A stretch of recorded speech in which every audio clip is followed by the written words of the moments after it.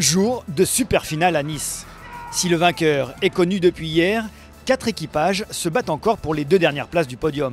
Le jeu est encore, euh, est encore bien ouvert, donc euh, nous l'objectif maintenant c'est de garder cette, euh, cette seconde place. On a Tahiti qui est vraiment pas loin derrière et mathématiquement on peut encore finir euh, quatrième, donc euh, tout est possible. Il y a beaucoup à gagner, il y a beaucoup à perdre. Donc on a bien discuté hier soir, on s'est bien relâché. Ça nous a un petit peu décomplexé et puis déstressé cette, cette deuxième place hier au côtier. Pour cette dernière journée de course, les 29 trimarans sont répartis dans trois groupes, bronze, argent et or, en fonction du classement général. Si les groupes bronze et argent disputent 4 stadiums, une seule course est programmée pour les 8 meilleurs, la super finale qui compte double. Et dès le coup de canon, le team SFS ruine ses chances de rester sur le podium en volant le départ.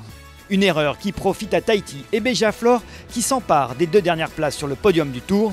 Quant à l'équipage de FDJ déjà vainqueur du tour, il s'offre la super finale pour parachever son œuvre en apothéose. C'était euh, l'objectif en partant. Euh, on, voulait, faire du mieux possible sur la super finale. On voulait surtout pas euh, naviguer en dedans parce que c'est là qu'on fait des conneries. Et puis on avait vraiment envie de se faire plaisir. Donc c'est plus facile de naviguer détendu que sous pression aussi. Donc on avait quand même ça pour nous par rapport aux adversaires. Et ça nous a bien aidé. Et je pense qu'on a fait quelques erreurs, mais un peu moins que les autres.